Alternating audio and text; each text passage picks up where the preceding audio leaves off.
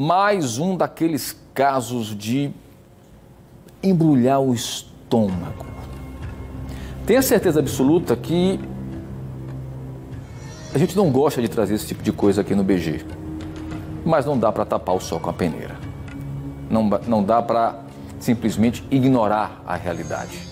E uma realidade que, infelizmente, está encruada, digamos assim, no seio de milhares e milhares de pessoas dentro da sua própria casa. É estarrecedor. Já não basta o caso do professor ontem, inclusive nós vamos mostrar hoje. Mais detalhes. Um homem foi preso ontem, suspeito até então pela polícia, de estuprar a sobrinha. Ele teria confessado tudo à polícia. Bruno Protásio tem mais detalhes e nós vamos ao vivo voltar mais uma vez com Prota para que a gente possa entender esse caso estarrecedor. Meu querido Prota, eu não sei você, mas é difícil a gente até expressar o que sente diante de uma situação como essa, né, de informação, né?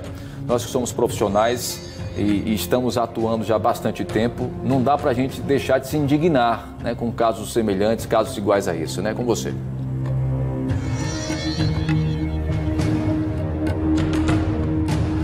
Principalmente corriqueiros, né, Tiago? Só nessa semana, esse é o terceiro caso que a gente vai relatar. Dois no Santos Dumont, um deles, como você disse, envolvendo o professor de uma escola, e agora mais um do tio-avô de uma menina de 12 anos apenas. O caso chegou até o BPE ontem à tarde e, de prontidão, os militares foram até a residência, que fica aqui bem perto, inclusive, do batalhão.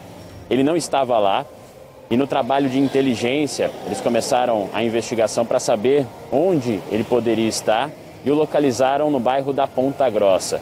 Ele foi encaminhado para a central de flagrantes e confessou à polícia que realmente praticava este ato. Aqui aos militares foi relatado que ele passava a mão nas partes íntimas da menina de 12 anos. E mais, a polícia descobriu também que ele também praticava esta mesma conduta com outras crianças, uma de 11 e outra de 9 anos.